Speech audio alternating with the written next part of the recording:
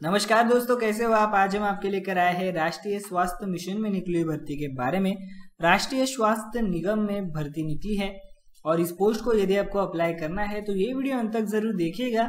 इस वीडियो में हम आपको पूरी जानकारी बताएँगे कि आप किस तरीके से इस पोस्ट को अप्लाई कर सकते हो और जॉब पा सकते हो, जो कि नेशनल हेल्थ मिशन में हो रही है।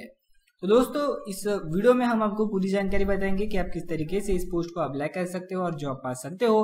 पर आगे जाने के पहले हम आपको बताना चाहेंगे कि इस वीडियो के डिस्क्रिप्शन में हमने आपको एक इम्पोर्टेंट लिंक दी है, जिस पर आप क्लिक कर कर हमारे ऑफिशियल वेबसाइट यानी कि जीबीटी जॉब डॉट कॉम के इस पेज पर आ सकते हो, जहाँ पर इस जॉब की जानकारी अच्छी तरीके से दी गई है।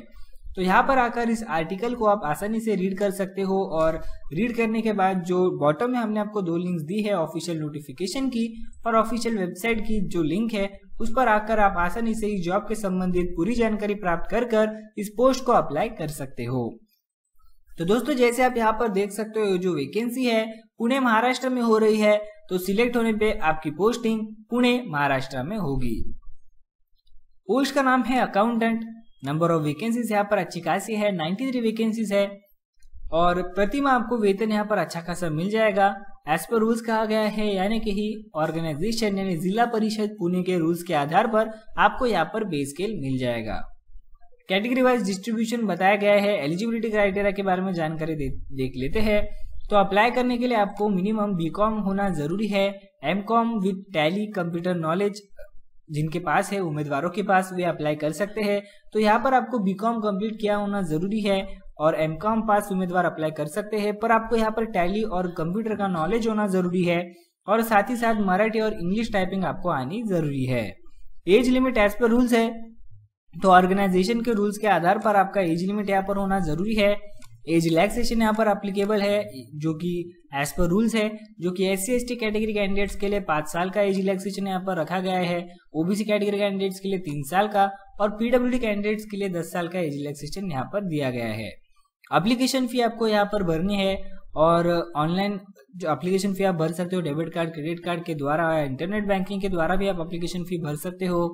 स्टार्टिंग डेट अप्लाई करने के लिए है twenty nine ten two thousand eighteen यानी उनतीस अक्टूबर से ऑनलाइन आवेदन करना शुरू हो चुका है और 19 नवंबर तक आप इस पोस्ट को अप्लाई कर सकते हो। तो दोस्तों, देखा जाए तो आपके पास 19 नवंबर तक का टाइम है तो जो भी हमारे उम्मीदवार इस पोस्ट को अप्लाई करना चाहते हैं 19 नवंबर के पहले आपका आवेदन भेज दीजिएगा या ऑनलाइन तरीके से इस पोस्ट को अप्लाई करिएगा, क्योंकि लास्ट डेट के बाद आपका एप्लीकेशन स्वीकारा नहीं जाएगा। तो फ़िलहाल बढ़ते हैं ऑफिशियल नोटिफिकेशन की ओर, क्या हमें जानकारी मिल रही है? तो यहाँ पर आप देख सकते हो, अधिकारी यानी ऑफिसर के पोस्ट के लिए भर्ती हो रही है ट्राइबल रीजन में और वैद्यकीय अधिकारी यानी कि मेडिकल ऑफिसर के पोस्ट के लिए भर्ती हो रही है।